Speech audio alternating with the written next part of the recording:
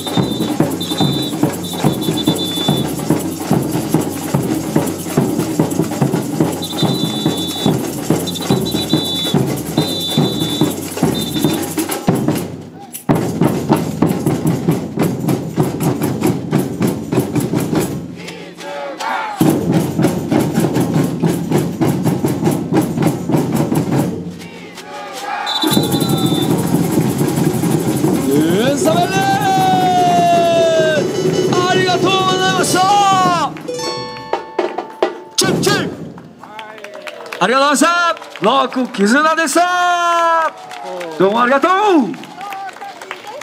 então, Muito obrigado pela participação. Bloco Kizuna para vocês. Até a próxima, se Deus quiser.